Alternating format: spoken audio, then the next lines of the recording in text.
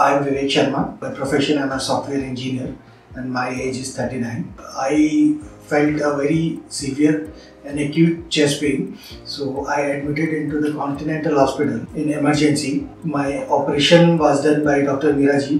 I was not in the position to, listen or to discuss anything because I was in very severe pain. So Dr. Meeraji guided my wife very well. The procedure will, will be done for stent insertion.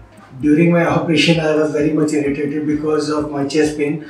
But doctor and the other team members, they dealt me with very professional uh, attitude and they made me calm and they helped me a lot. Uh, I was going to the surgery and I'm very much thankful uh, to the doctor and his team for uh, responding uh, such a professional and courteous manner. And, uh, I will thank uh, to the Continental staff as well for helping me in this situation and I'm really thankful to everyone.